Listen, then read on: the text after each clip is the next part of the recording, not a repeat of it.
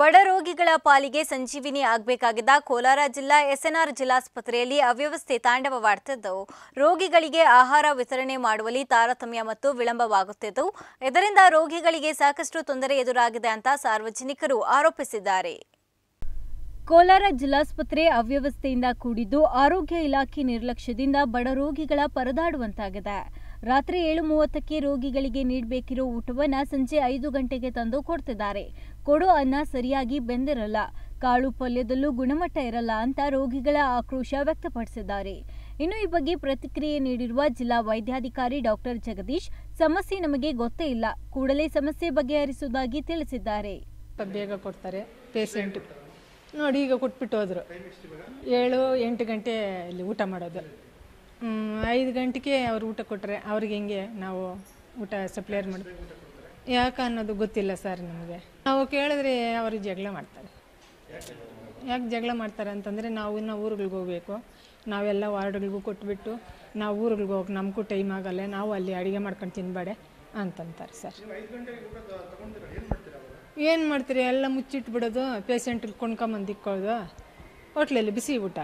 ನಾವು ತಿಂದ್ಕೊಳೋದು ಮುಚ್ಚಿಟ್ಕೊಂಡು ನಾವು ತಿಂದ್ಕೊಳೋದು.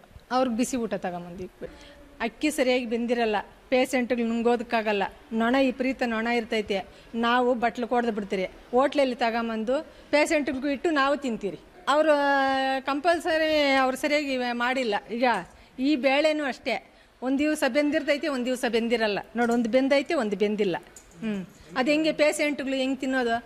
ತಿಂದಿದ ತಕ್ಷಣನೇ ಅವರು, ಅವ್ರ ಜ್ವರ ಬರ್ತದೆ, ತಲೆನೋವು ಬರ್ತದೆ. ಮೈ ಕೈಯೆಲ್ಲ ಭಾರ ಬರ್ತದೆ. ಅವಾಗ ನಾವು ಸಿಸ್ಟರ್ಗಳ ಹತ್ರ ಕೊಡೋದು. ಅದ ಊಟ ಆಗಲಿ ನಾವು ಆಚೆನಿಂದ ಬಿಸಿ ಬಿಸಿ ತಗೊಂಬಂದು ತಿಂದ್ಕೊಂತೀರಿ. ಯಾಕಂದ್ರೆ ನಾವು ಪರಸ್ಥಳ ಬಂದಿದ್ದೀರಿ. ನಾವು ಒಬ್ಬರು ಮಾತನಾಡಿದ್ರೆ ಸಭೆ ಎಲ್ಲ, ಓ, ಅವ್ರ ಹಂಗೆ, ಇವ್ರ ಹಿಂಗೆ ಅನ್ನು ಅನ್, ಅಂತಾರೆ.